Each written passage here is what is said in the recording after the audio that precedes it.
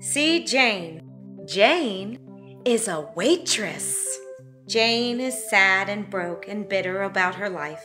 And when Jane is sad and broke and bitter about her life, she smokes a cigarette. See Jane smoke? But this is a new chapter now, a new story about Jane. This is a story about when things start changing for Jane. This is a story about the day that Jane quits smoking. Wait. What?